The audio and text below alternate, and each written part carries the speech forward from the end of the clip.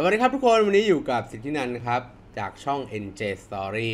แล้ววันนี้ YouTube มีข่าวใหม่มาบอกพวกเราครับ นั่นก็คือ Handle นะครับ Handle คืออะไร เดี๋ยววันนี้จะพาไปรู้จักกับ Handle แล้วก็ดูว่ามันมีข้อดียังไง แล้วมันจะทำให้เราสนุกกับ YouTube มากขึ้นได้อย่างไรนะครับ แต่ก่อนจะไปรับชมกันอย่าลืมนะครับ กดให้กำลังใจนะครับ NJ Story กดถูกใจกดไลค์กดแชร์กด Subscribe กดกระดิ่ง แจ้งเตือนคลิปดีๆจากช่อง NJ Story ครับ ถ้าทุกคนพร้อมแล้ว เดี๋ยวเราไปรับชมกันครับผม มาครับทุกท่านรู้จักกับ Handle นะฮะฟีเจอร์ใหม่จาก YouTube จะทำให้เรามีความสุขขึ้นได้อย่างไร อย่างแรกไปดูก่อนว่า Handle ใช้คำอะไรนะครับทุกคน Handle นะครับใช้ในการค้นหาค้นหาช่องค้นหาตัวเราเนี่ยนะครับ หรือว่าลูกค้าไม่ใช่ลูกค้าสิ FC แฟนคลับของเราเนี่ยก็ใช้ handle นะครับในการค้นหา ผมเรียกมันว่า assign ได้ไหมทุกคน มันก็คือตัว A assign เนี่ยแหละครับ อันที่สองครับใช้ในการพูดถึงนะครับในคอมเมนต์ต่างๆ ก็สามารถพูดถึงได้ และที่สำคัญครับ handle ไม่สามารถซ้ำกันได้ ถ้า handle นี้หรือว่าชื่อนี้ถูกตั้งไปแล้วนะฮะจะไม่ถูกไม่สามารถถูกตั้งซ้ำได้นะครับ ทุกคนอันนี้ก็ต้องระวังนะ ถ้าเกิดเขาเปิดฟีเจอร์นี้ขึ้นมา ก็แนะนำว่ารีบไปตั้งชื่อ handle นะครับผมสำหรับ handle เนี่ยมีคนบอกว่าเอ๊ะมันต่างจากแต่ก่อนยังไงนะทุกคน แต่ก่อนเนี่ยในคำอธิบายนะครับ ในคำอธิบายคลิปเนี่ย เราสามารถใส่ at sign แล้วก็พูดถึงช่อง YouTube หรือใครก็ตามที่มี Account YouTube แบบนี้ได้นะครับ อย่างผมเนี่ยถ้าใส่ at sign แล้วก็นุ่น KJ ก็จะเป็นน้องนุ่นนะฮะน้องนุ่นก็จะมีช่องมีผู้ติดตามอยู่สองคนน่าสงสารจังเลย อะแล้วพอใส่เข้าไปเนี่ย มันก็จะหน้าตาลักษณะแบบนี้นะครับ ดูทางขวามือนี่นะ เห็นไหมก็เป็น at sign นุ่น KJ พอเราโพสต์เรียบร้อยนะครับอัปโหลดคลิปเรียบร้อย หน้าตาเนี่ยครับของไอตัวแอดไซน์ก็จะเป็นอย่างนี้ แต่ว่ามันจะขึ้นที่ ในส่วนของคำอธิบายคลิปนะ มันคือการพูดถึงนะครับ มันจะไปโผล่ที่แจ้งเตือนของคนที่เราพูดถึงด้วย ส่วนในความคิดเห็นนะทุกคนสังเกตความคิดเห็นไหมคำว่า assign รุ่น KJ อะครับ มันจะเป็นแค่ตัวพิมพ์ แล้วก็ถ้าเรากดคอมเมนต์ไปเนี่ย มันก็จะไม่มีการแท็กไปถึงอีกช่องหนึ่งหรืออีกคนหนึ่งที่ใช้ user YouTube อยู่นะครับ อันนี้คือแต่ก่อนนะไม่สามารถทำได้นะทำได้แค่พิมพ์ เขาจะไม่ได้รับการแจ้งเตือนว่าเราพูดถึงเขานะฮะ อันนี้ก็คือแต่ก่อนนะ assign แต่ก่อน ทีนี้ของใหม่ครับ handle เนี่ย ก่อนที่จะ handle นะ มันมีคำหนึ่งที่มาเกี่ยวข้องที่ทุกคนสงสัยมากว่า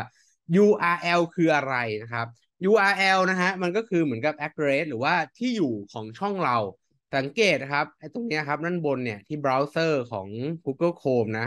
ถ้าพิมพ์ YouTube ก็จะเป็น www.youtube.com ใช่ไหมครับ แต่ถ้าสมมุติว่า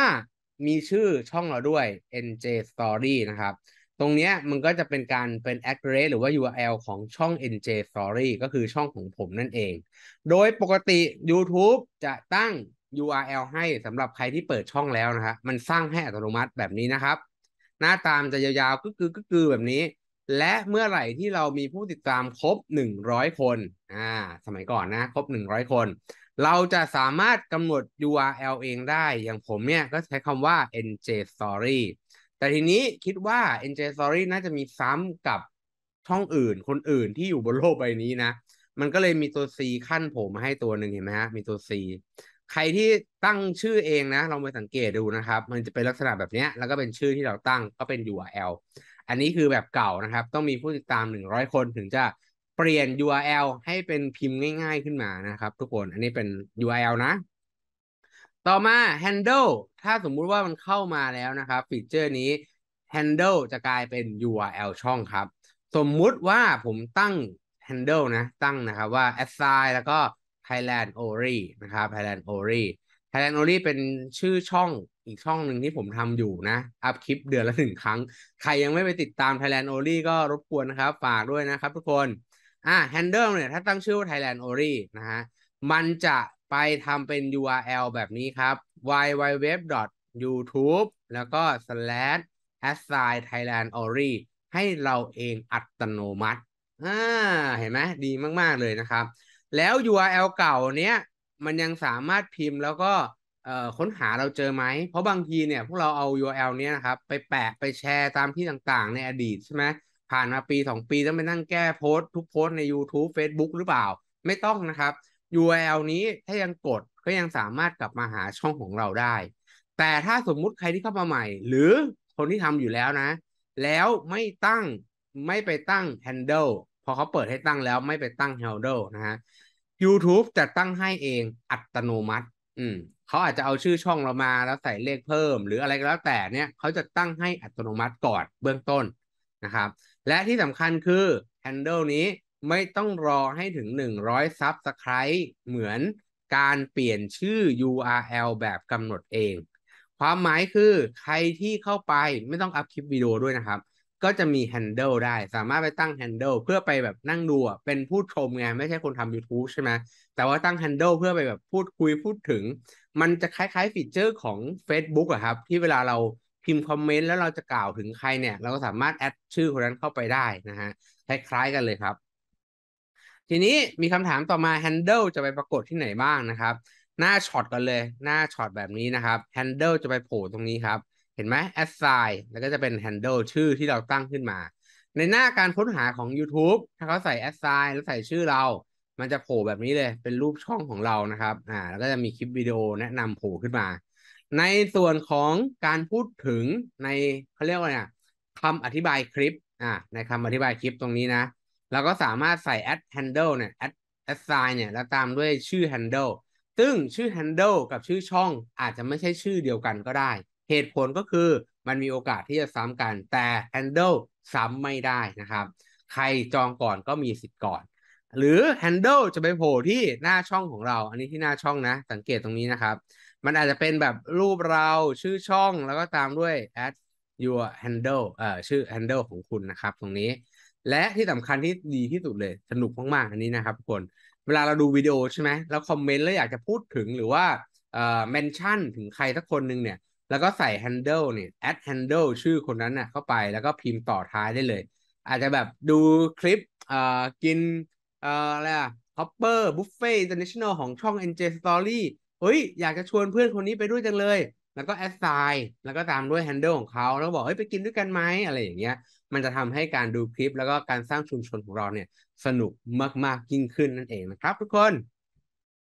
กฎกติกามารยาทในการตั้ง handle นะครับหนึ่งเลยสามารถตั้งได้ตั้งแต่ 3 ถึง 30 อักขระขึ้นไป เกิน 30 อักขระนะครับ ไม่ได้นะครับทุกคนรวมทุกอย่างนะ และ handle นั้นต้องไม่มีคนอื่นใช้อยู่ ความหมายคือตั้งซ้ำไม่ได้นะ ใครตั้งก่อนก็ได้สิทธิ์ก่อน handle ต้องไม่มีคำที่รุนแรง ไม่เหมาะสม เรื่องเพศหรือว่าเป็นสแปม อันนี้ก็ตั้ง handle ไม่ได้นะครับคำพูดที่แบบบางทีมจะมีคำต้องห้ามใน YouTube อยู่อะเช่นคำว่าอะไรนะเสียบคำว่าเอ่อแทงอะไรที่เป็นกริยาในการทำความรุนแรงอะครับ บางทีทำช่องที่แบบ เออมีมีมีเรื่องปรึกษานะ ช่องที่ทำเกี่ยวกับต้นไม้อะแล้วเขาต้องมีการต่อต่อต้นไม้ใช่ไหมเขาเรียกว่าเสียบยอดอย่างเงี้ย แล้วตั้งชื่อคลิปว่าเสียบยอดโดนติดใบเหลืองครับพอลบเขาว่าเสียบออกก็ปลอดภัยขึ้นมานะ เพราะฉะนั้นบางที AI เนี่ยเขาก็ตรวจจับจับความอะไรชื่อ หรือว่าคำที่มันดูรุนแรง มันอาจจะไม่ได้เหมาะกับทุกบริบท แต่ว่าเบื้องต้นเขาก็เซฟชุมชนของ YouTube เอาไว้ประมาณนั้นนะครับ แล้วก็ handle ไม่สามารถขายหรือโอนได้โอนไม่ได้นะครับ อันนี้ก็เป็นกฎที่เขาห้ามเอาไว้นะฮะมันอาจจะมีคนที่แบบว่าแอบไปตั้งชื่อ handle ให้เป็นช่องใหญ่ๆ แล้วก็ไปขายหรือโอนเงี้ยไม่ได้นะครับก็ผิดกฎของ YouTube นะครับ ทุกคนสำหรับวันนี้นะครับ เรื่องของ handle ก็น่าจะมีประมาณนี้ ก็ถ้าสมมุติมันเข้ามาแล้ว หรือว่าใครยังไม่ตั้งก็แนะนำว่าควรไปตั้งนะฮะแล้วมันทำให้เราเอ่อ ดู YouTube สนุกขึ้นทำ YouTube สนุกขึ้น เป็นชุมชนที่เราสร้างขึ้นมาได้ สามารถพูดถึงเพื่อนๆได้นะครับ ก็เป็นสิ่งที่ดีจาก YouTube นะสำหรับคลิปนี้ก็จะประมาณนี้ครับ จบไปแล้วนะครับกับข้อมูลของ Handle คิดว่าน่าจะมีประโยชน์กับทุกท่านมากๆ ทีนี้ผมมีคำถามมาถามทุกท่านครับหนึ่งคำถาม YouTube เนี่ยเขามีการพัฒนาแล้วก็ปรับปรุงปรับเปลี่ยนระบบให้มันสนุกมากยิ่งขึ้น แล้วก็ friendly กับผู้ใช้มากๆยิ่งขึ้น ทุกท่านคิดว่าในอนาคตครับ เราจะสามารถคอมเมนต์เป็นรูปภาพได้หรือไม่เออลองตอบกันเข้ามานิดนึงนะครับว่าเอ้ยในอนาคตเนี่ย YouTube จะสามารถคอมเมนต์เป็นรูปภาพเหมือน Facebook ได้หรือไม่นะฮะอ่าหรือว่าคุณอยากให้มีให้มันมีเอ่อคอมเมนต์เป็นรูปภาพไหมก็บอกกันนิดนึงแสดงความคิดเห็นในใต้คลิปนี้นะครับ แล้วก็ถ้าสมมุติใครหลงเข้ามาดูคลิปนี้เหมือนเดิมครับ รู้สึกเหงาเหงาๆว่าเอ๊ะทำไมผู้ติดตามไม่ถึงพันสักที หรือว่าชั่วโมงนะครับไม่ถึง 4,000สักที อยากจะเรียนทำ YouTube นะครับ NJ Story ยินดีรับฟังนะฮะ ไปดูที่เพจ Facebook NJ Story มีรายละเอียดอยู่มาเรียนด้วยกันได้นะครับเสาร์อาทิตย์ หรือใครเป็นมือใหม่อยากจะเริ่มทำ YouTube เลยก็สามารถติดต่อเข้ามาได้นะครับ เราพาไปเดินถ่ายนะครับ แนะนำโปรแกรมสอนแบบจับมือทำเลย พูดคุยกันได้นะครับเสาร์อาทิตย์ว่างๆก็นัดกันประมาณนี้นะครับ ทุกคนสำหรับคลิปนี้นะฮะ ถ้ามีประโยชน์นะครับ ก็อย่าลืมกดไลค์ กดแชร์ กด Subscribe กดกระดิ่ง แจ้งเตือนคลิปดีๆ จากช่อง NJ Story วันนี้ขอลาไปก่อนนะครับ สวัสดีครับ